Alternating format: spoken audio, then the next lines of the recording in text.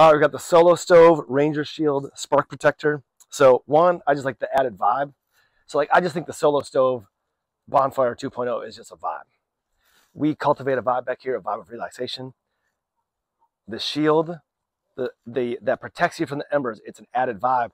But the main point of it is it protects you from the embers. So your average bonfire, it just has, you can just get hit in the face with a hot ember and you just have to deal with it. This, you don't have to deal with that. So, and then on top of that, you get these. You can easily just take this off, just slide these in there like, like so. You lift up effortlessly. You can throw your log in, put it back on, and it just locks into place. So it's locked into place, locked on. Amazing. It's portable with you, and I think it's amazing. You need to get it. I highly recommend.